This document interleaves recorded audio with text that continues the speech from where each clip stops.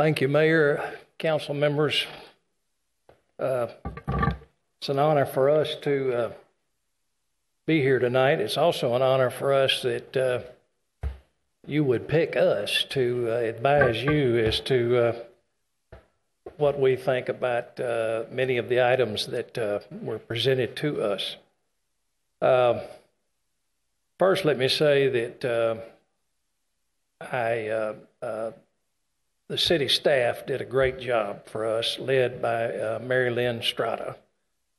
And uh, she and Janice Hampton, they had their people there at our disposal whenever we needed any kind of uh, information. So appreciate their their help. And uh, Mary Lynn especially coordinated uh, the whole thing. Um, Janice uh, picked uh, Alan Bojorquez as a legal counsel for the committee. And I, you have before you his resume, and I think you can tell from his publications and his honors uh, what uh, his credentials are. And we were pleased uh, to be able to utilize uh, his services. Uh, how I was picked as chairman, I don't know, but uh, I was not pleased about that. but I was pleased with the people that uh, were picked to serve with me. And if I may introduce them at this time, uh, right here by the aisle is uh, Richard Cortez. Richard, if you'd stand. Richard is a 30 year uh, employee, now retired of the U.S. Postal Service, and a, also a proud member of the class, Stephen F. Austin High School class of 1968 with me. And uh, thank you, Richard. Um, George Nelson. George, would you stand? George is a longtime banker in the community uh, with a competitor bank to the business that I work for, and he was a fierce competitor. I'm so glad he's retired now. and uh, anyway, George, uh, thank you for serving on the committee. Um, Kenny Lawson.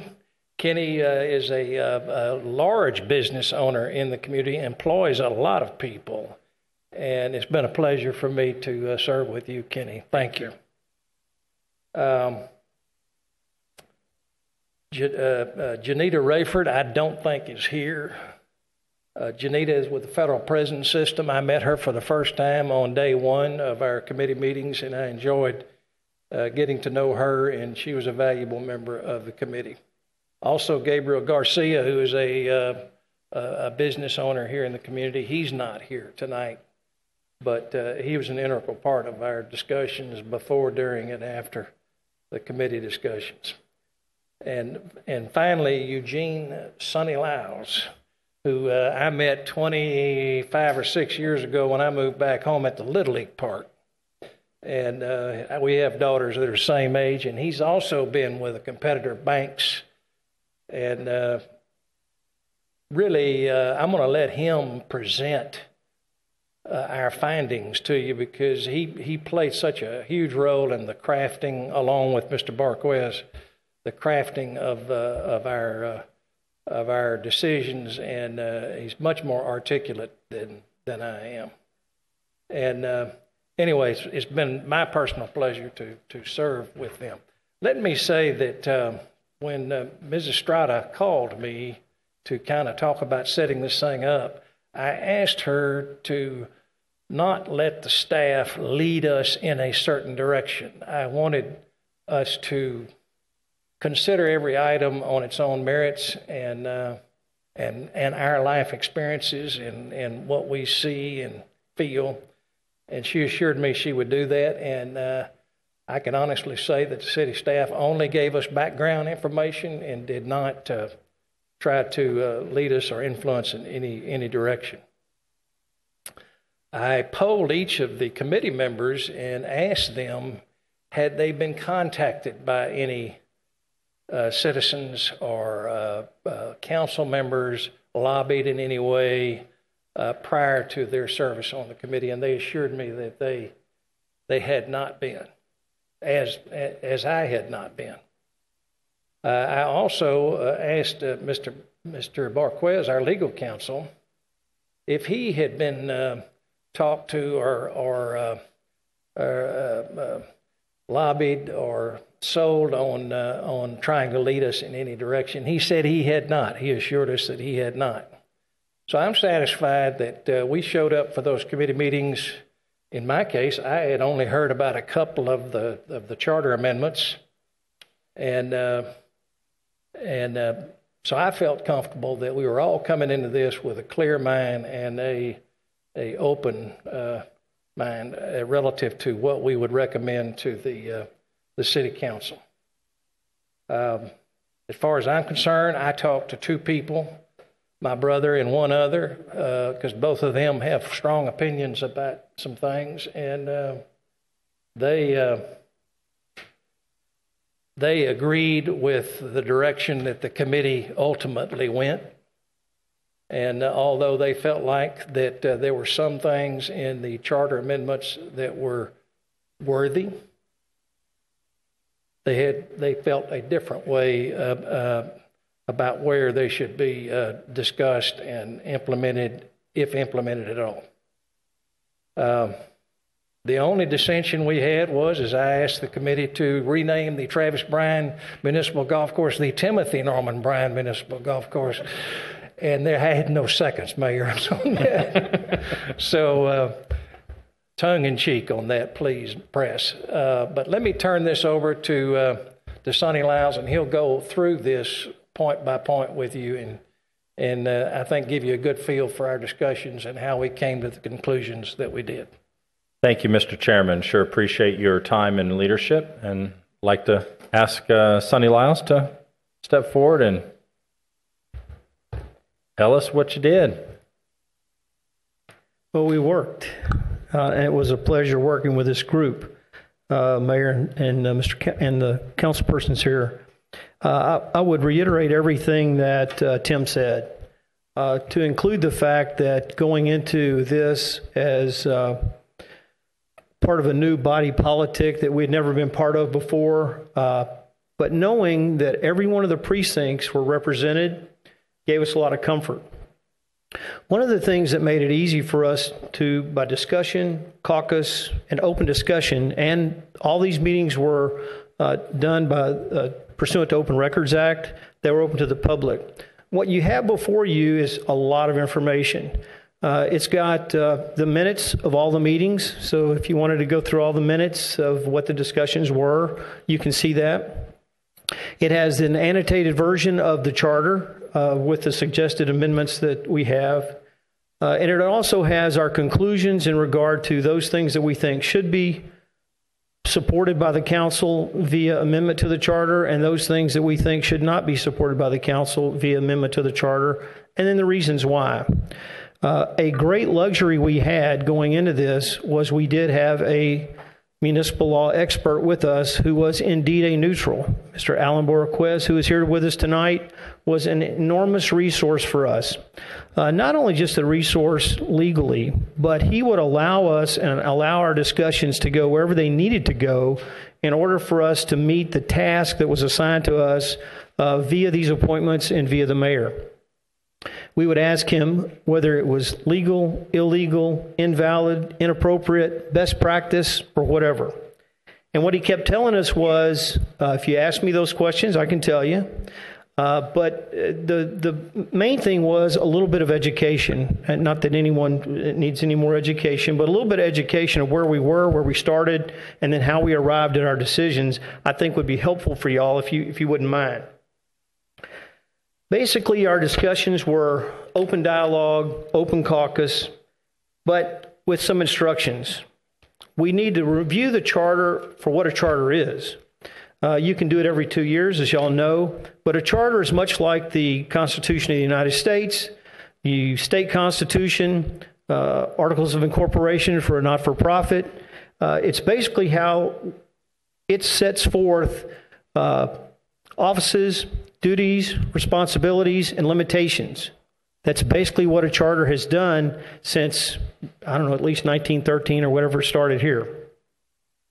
Our charge, though, was to work completely independently, uh, but to, for us to be uh, open for uh, considering what the staff thought changes to the charter should be considered. We actually came up with a little bit on our own that hopefully Mr. Bojorquez uh, said, that sounds pretty good to me too. Uh, and then we reviewed all the things that are being proposed by petition. So Tim had told you a little bit about the uh, background, but I'd like to tell uh, what we were to do and what this is supposed to do tonight. Uh, we've made presentations to the Planning and Zoning and the Bryan Business Council and tonight to uh, the uh, City Council as we've been requested. Uh, basically, tonight, this is a, an oral summary, verbal summary, and a little bit of insight on how we came up with our conclusions. Uh, what you have before you is the total package of, of everything that we did in for the Charter Review Advisory Committee. I can just tell you briefly what the conclusions are. There were 13 issues where uh, we considered uh, what we were supposed to do, and that is we needed to consider things from the standpoint that they shouldn't be a burden to the council. The council should be able to conduct its business. There should be brevity, there should be clarity, and the charter is there for the best interests of the citizens of Bryan and for the operations of the citizens of Bryan. So, with that being said, we then had to make determinations of the suggestions for the uh, considerations for amendment that would be proposed or, or supported by the council. Uh, and in each case, we voted on it. Uh, there was a unanimous vote, zero dissent on a committee that represented the entire city. For those things that we didn't support, don't support, it had to do with whether they were appropriate for a charter, whether or not they were valid or illegal or vague or not supported by law or best practices of a city or would in some way encumber or put the city of Bryan at a competitive disadvantage. We thought through all those things. And as Tim said, some of the ideas that are proposed by amendment are, are for good for discussion, and are things that we need to strive for. But in every case, we determined that when they're not proper for the charter, we would not support them or could not support them. So, if I could, I'd like to go through the 13 items that, that, quickly, the 13 items that we thought that the city council should consider in support of changes to uh, the uh, city charter. I'd like to do the easy ones first only because it just shows you that we looked at the small and the large. Uh, from an easy standpoint, uh, if we would go to, there's a, an amendment we were suggesting at section 16 under powers of the city to own. Since we're not sure, could be 1913 plus, the city enumerates its ability to own things such as water, sewer systems, maintain and extend construction for water, and it used to say light and sewer systems within and outside the city. It was determined we probably don't own the light. So we changed that. Suggested change for you to consider is to move the word light to electric. We think that's probably a little more accurate. Uh, the other thing was an easy change. We've been referring to a chief financial officer for several years here within the city. At section 12, chief financial officer is what we're suggesting. Right now it says chief finance officer. Uh, another easy one has to do with the establishment of corporate powers at section 1. And the powers of the city are to regulate construction, height, maintenance, occupancy, and the material used in all buildings. There's been a question lately whether or not buildings is inclusive enough. So we're suggesting to add the word and structures, which I think should be fairly easy to do. Uh, one of the other things, uh, Mayor, have to do with your powers. Uh, it was uh, provided to us by Mr. Alan Bojorquez that the mayor has the powers enumerated by charter, but it includes the power of, it, like a justice of the peace, to administer oaths and the other power that you have is to punish by contempt for people being rowdy here at the city council meetings. Well, that never happens. What I have to say to you is you do not have those powers by law or otherwise. So our suggestion is, which pretty much follows uh, what the committee wanted to do. Uh, these are not supported by state law, and since they're not supported by state law, uh, the committee would suggest that they be stricken from the charter. No jail time from the mayor, huh? No. All right, all right. right. All right. Um, Question about this item? Yeah, about that. item. Um, d- d- Do you, do you mind if we uh, ask a question, or would you like to? If you to could go- hold them to the end, it would be, I think it'd be helpful if You- we could you just go through it. Well, we thank you for your time. If that works. We'll, we'll respect that. Thank Certainly. you. Then going to the more serious things that we were considered. Uh, the first one had to do with Section 5 of the City Council, and it had to do with what duties of the City Council are. And what we suggested is because uh, our committee notes are still consistent. A charter should be flexible for how city council meetings are conducted and thus leave the format of the city council meeting agendas to the discretion of the city council as each new council is convened. Uh, we supported the city council's practice of establishing meeting procedures by ordinance and find the current rules are adequate to ensure the public's business is conducted efficiently. That being said, our suggestion is, in regard to how things get on the agenda, is that any two council members desiring a particular item simply notify the city secretary in writing, and the item is placed on the agenda subject to the order of agendas as already set forth by resolution or ordinance. And then it says the city council shall by ordinance follow annual city council general election, establish rules and procedures for conducting city council meetings, including timing, location, and format, and those be governed until repeals. And if it's not governed by an ordinance or resolution, then you would default to the charter. And that is supported by uh, our special counsel that that would be appropriate for home rule cities. The next item has to do with council member independence. Council member independence, we think, is very important. However, the section at at R in regard to council member independence was, by our notes, inconsistent with the Texas Government Code as it applied to municipalities and unduly restricted the city's ability to engage our community volunteers. So, what we simply did was edit the suggested edit for council member independence is to change the degrees of consanguinity and affinity simply to meet up with what state law is in regard to this and make it as clear and not vague. And hopefully that's what that suggested edit does. And then is consistent with the Texas Government Code. Again, a flavor that the, the, the, that our committee had is to make it consistent with state law, local government code, or the government code. The next note under council member independence, which we think is important, simply had to do with a vague term in the charter. Presently in the charter, it says that in regard to elections or local elections at R2, that the use of prestige of a city official's position uh, should not be done in regard to a, a local election.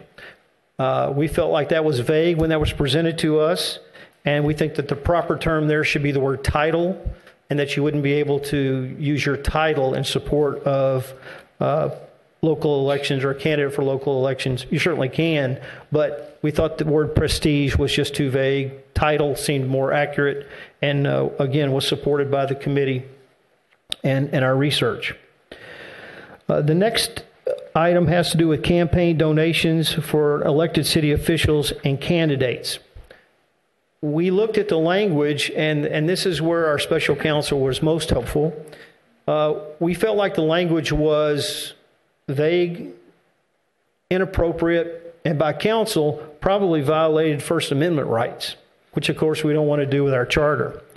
However, we didn't want to have to reinvent the wheel because we felt like ethics is important, and we felt like the state of Texas, somewhere in the government code or local government code, uh, uh, had in fact set forth what the regulations and requirements ought to be for that. And in fact, uh, Texas has passed the Fair Campaign Practices Act uh, through the Texas Election Code. So our simple fix was that campaign donations regarding any city official and candidates shall comply with the Fair Campaign Practices Act and the Texas Election Code. It cleans it up, it makes it accurate as to state law, and we think that's the direction that should go for an edit for the charter. The next item had to do with ordinances, and I know this is a, a topic that uh, we all considered and talked about for a long time. Uh, and you, it's reflected in the notes. We know that the, more or less, either by uh, practice, it has been that ordinances would be read twice. I think everybody that's been involved with municipal law just knows that happens. Uh, one of our uh, tasks, of course, was going through the charter and see if any amendments made sense, would, would more accurately reflect what the law is. And what we, what we found was is that state law does not require ordinances to be read more than once. State law does require reading of ordinances for certain specifics, like uh, an increase in taxes, which is certainly important and would take two, two readings. Also, if you have to read it more than once. Uh, as a consensus of the committee, uh, it's restrictive uh, for city councils. If you're trying to be flexible and responsible to a specific act that's not technically uh, emergency status, then you're still going to be hampered by the, the, the two readings. So, since state law does not require that it be read more than once for certain type of actions, then our suggestion is that for ordinances that the readings only happen once. Uh, that's our suggestion. If, the if that suggestion is something that the city council can support, what it does is it makes us more uh, in line with state law. Uh, for a home rule city, it's not necessarily appropriate for a home rule city to make that requirement. Uh, and it certainly gives you an ability, uh, a, a, flexible ability to uh, respond in, in, almost in any manner that you need to and as fast as you need to. When it comes to the uh, 13 things that we talked about, uh, and spe- one of the specifics was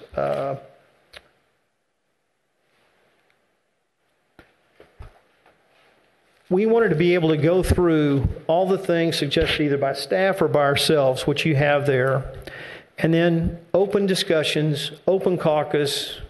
Uh, then uh, Chairman uh, Bryan would then suggest uh, do we have a motion in a second, which we would, then we'd vote on it. And on all 13 suggestions for edits to the charter that we are proposing that the City Council would support, uh, if they choose to do so, uh, our votes were unanimous with no dissent. And uh, so we felt pretty good about that because that's representative of all the members of the committee, which represented the entire city. And I think to that task, we stuck to it. Then we set that aside, and uh, with direction from uh, uh, Mr. Bryan, then we then set aside uh, everything that we had done previously to focus on those things being uh, presented, proposed to be amended by petition and vote of, of um, and vote of the populace.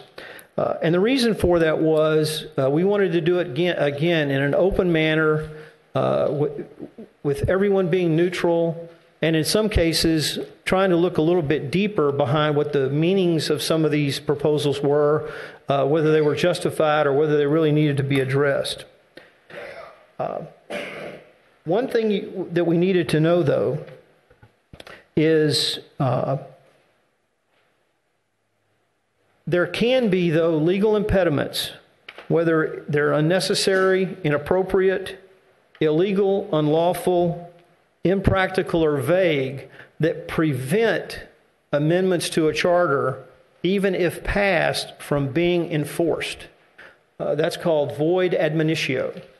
Uh, and what that means is they're void at their inception. Uh, and, and as a footnote, I'd like to address that last if I could, uh, because that was something that came up with our committee uh, that uh, we thought that there was possibly a way we could solve all the issues, uh, but uh, we stuck to our task. And then once that was over, those, those that particular issue came up. Uh, but the reality is, and uh, even if the process uh, were ever to present a uh, petition item for amendment that was on its face illegal, according to state law and case law, uh, that's usually addressed after the vote, not before the vote, although it can be addressed before the vote. But we'll get to that. So, as a committee, uh, we were asked specifically to go through each one of these and determine whether or not we could, uh, after discussion, uh, support those uh, and offer those in support to the city council to support. For all of the 10 propositions, the consensus vote was unanimous in opposition to all the items being presented for amendment uh, by petition. The first one we'll go through has to do with Section 24 regarding establishing zoning, or, zoning ordinances to preclude housing of more than two unrelated adults. Now, what clearly uh, the committee, along with Mr. Bojorquez's uh, ability to uh, provide us uh, neutral legal counsel, is that zoning is a legislative act reserved by state law for the city council, which means you can't delegate that particular item to someone that doesn't have legislative authority, in this case, voters.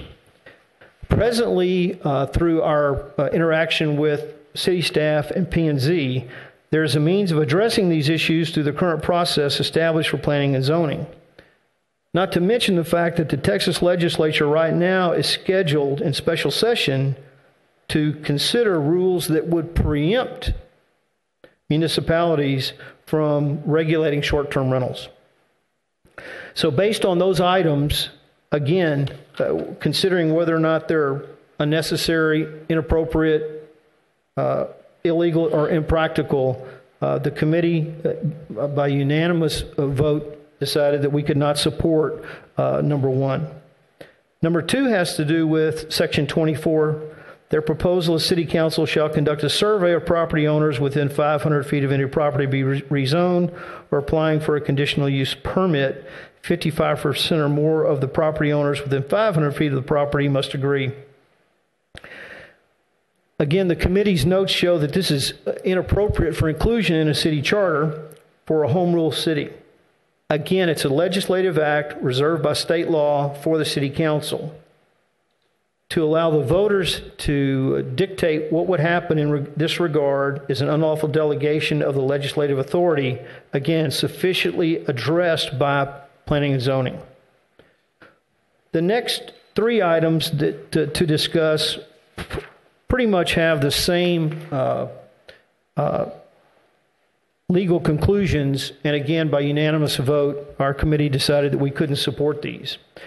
And one of the reasons is we've already said that you can, the uh, charter already advises the council on how they can set their meetings and that uh, they should be able to do it every time they convene every two years and make it appropriate for all the council members. And of course, they have to consider the citizens in the city and everything else. So that theory uh, permeated the next three sections. Uh, the proposed Section 5 change has to do with conducting hearing for citizens at a specific time. Section 5 has to do with conducting regular meetings on second and fourth Tuesdays only. Section 5 has to do with the City Council conducting open sessions of the regular council meetings no earlier than 6 o'clock. And, and in almost every case, none of these are a best practice for a home rule city. Uh, but in conclusion, all three of these would be inappropriate for inclusion in a home rule charter. It's uncommon for home rule charters. Uh, and we confirm that the level of detail about conducting city council meetings is unnecessary and common for inclusion in a charter. Uh, it's more appropriate for ordinance or resolution, and that's in every case. Uh, one of the specifics about four had to do with uh, holidays, which were undefined, and undefined holidays are vague and, and unenforceable. Section five regarding when meetings could be conducted. Uh, again, it was confirmed by special counsel. This is a level of detail about conducting city council meetings that's unnecessary and uncommon and inappropriate for inclusion in a home rule charter. Then we move to number six, and as uh, Tim said his suggestion was voted down. But uh, it was, it was, I thought, helpful for us. I know that's been a contentious point for a lot of people uh, in town. And to have uh, Tim on the committee, and he shared with us uh, his, his beliefs. And then we were also given legal counsel by Mr. Bojorquez. And clearly, by committee vote, again unanimous with no dissent, any provision like this would be inappropriate for inclusion in a home rule charter.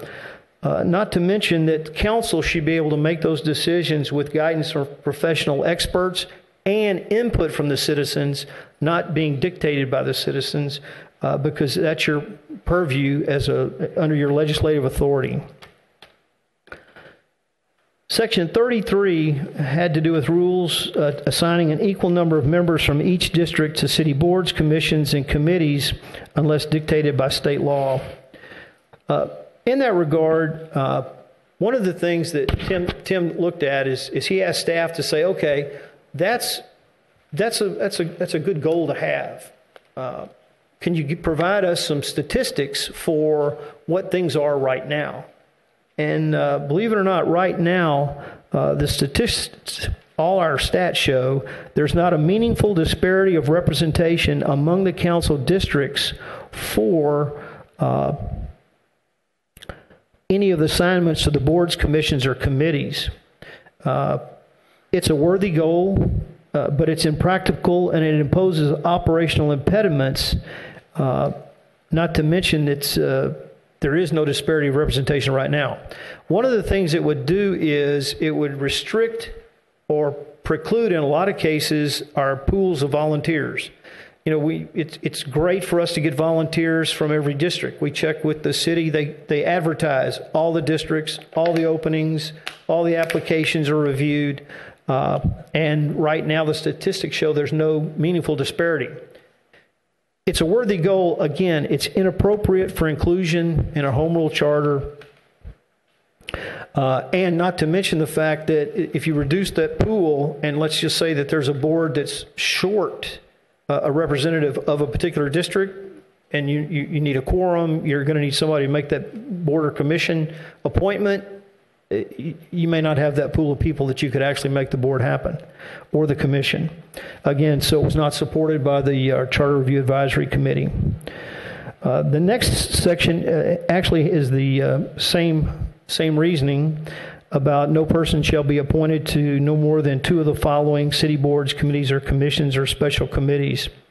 Uh, we addressed that in the, the, suggestions that we have for uh, the, the charter amendments again, what they found was if you restrict it to two or three or four, uh, it almost makes it impossible for the city to handle its elections. The elections uh, are a, lot of times uh, not just City of Bryan, but City of Bryan, City of College Station, and the county.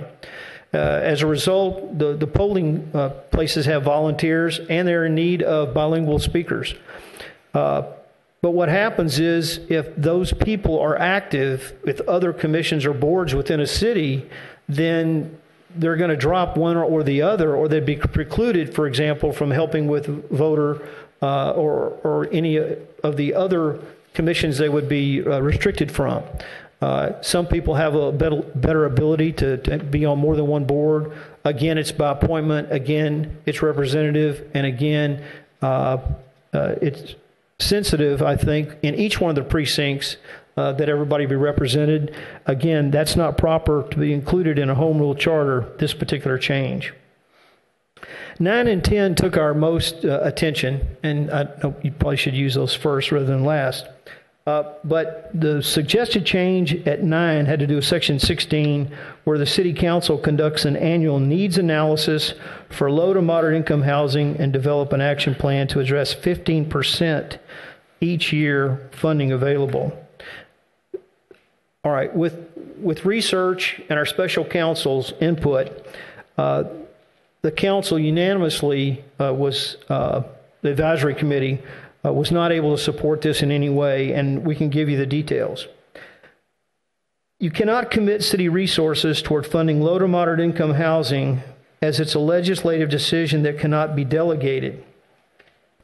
Also, it puts the city of Bryan at, a, at an enormous competitive disadvantage in that our financial advisor, uh, in regard to what would happen if we had to do an action plan that set aside specific funds out of your general fund for uh, low to moderate income housing, and a rigid funding rule adversely affects the city's bond rating, effectively uh, hiking interest rates for all future bond packages.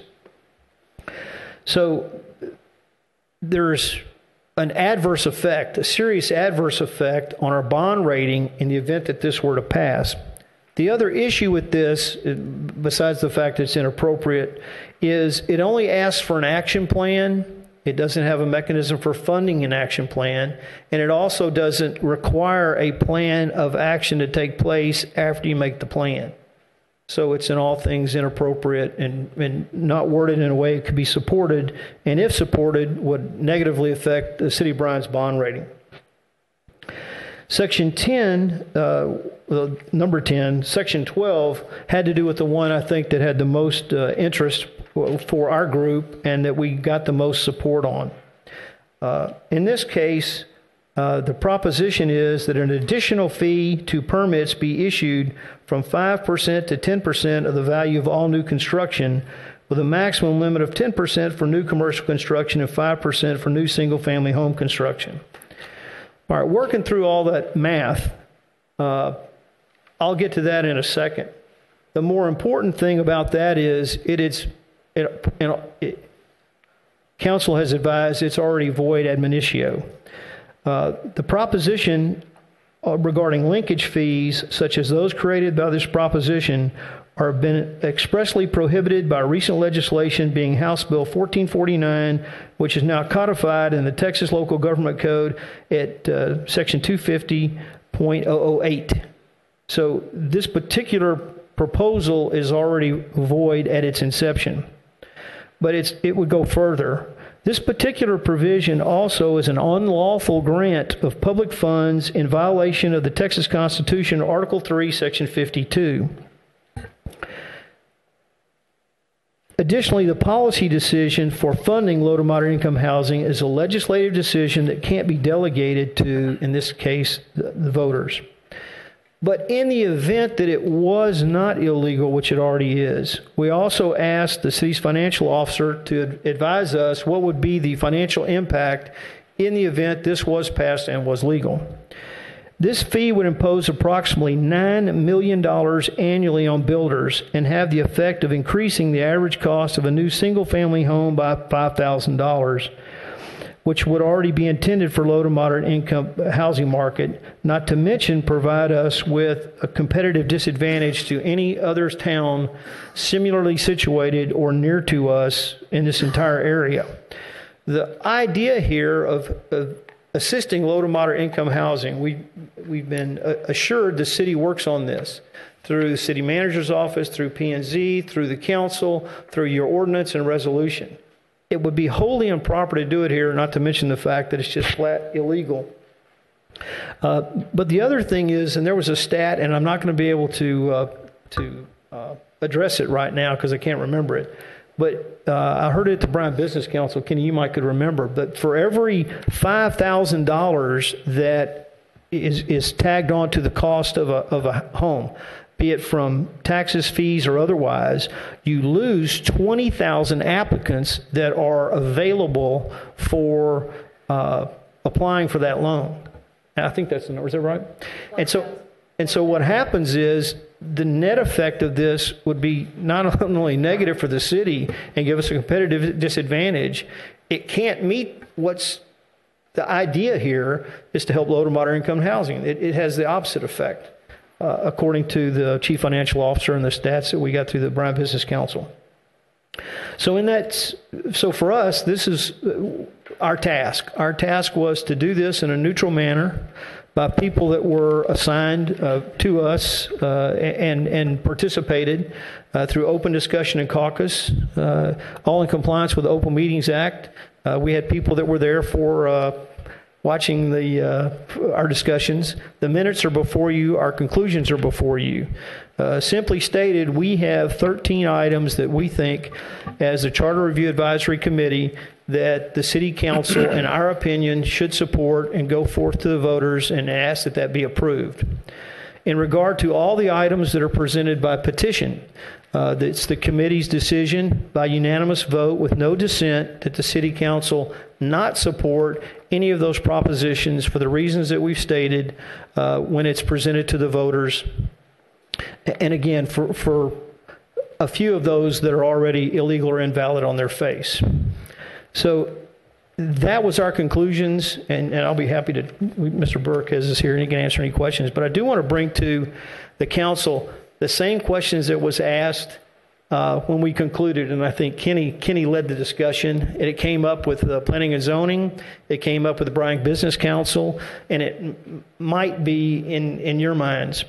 Uh, one of the things that we thought, from a standpoint of effort of a city staff, costs of elections, uh, whether or not the petition laws requested, required, uh, before they got presented, for any reason, that they be reviewed by city attorneys, council, uh, or that there be some manner to determine whether or not they were legal, valid, appropriate uh, before being presented to the, uh, the voters it seemed like that would make common sense to a degree. Uh, but the petition laws of the state of Texas do not require that. So that in the event that something were to get passed that was illegal on its face or from uh, its inception, uh, Mr. Bojorquez assured us that the state law is you deal with it then. If it's not valid, it's not valid. It just gets stuck in your charter and you have to clean it up later. Uh, but I think from the, the, our advisory committee standpoint, uh, it just seemed like some common sense, some practicalities before we present things to the voters uh, might give consideration for the strain, the burden, the costs of uh, presenting those to a, a, a, public or a populace if they're they're not going to be valid when they get voted on anyway because I think that's it's it's not the the message that you want to give the voters I don't think and I don't think that it's it's something that that couldn't be addressed. But what we found out was uh, for any proponent of, of, of petitions, it's, it, it, that's, their, that's their petition. State law makes it wide open, and you can propose whatever you want to. If you, if you get enough uh, signatures, you can get it to a vote. Uh, it's just not going to be valid in all cases. Uh, we were just hoping there might be a way to kind of uh, make these read a little better before they got presented to the uh, public, but that's up to the proponent of any petition and so Mr. Bojorquez was very, very helpful in that regard because uh, I think as a, as a group we're thinking, wow, we could fix all this at one time. And the reality is uh, petition laws are petition laws, and that's just what we deal with.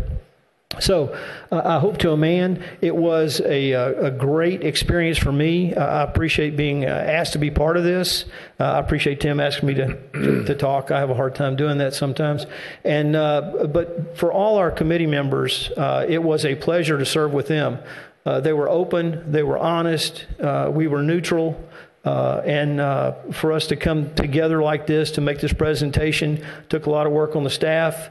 Uh, Janice and her team, uh, Mary Lynn, uh, Alan Bojorquez, and then everyone here that had to take time from their day jobs uh, and do this. But it was our pleasure to do it for the city, for the citizens, and, and that's our suggested advice to the council.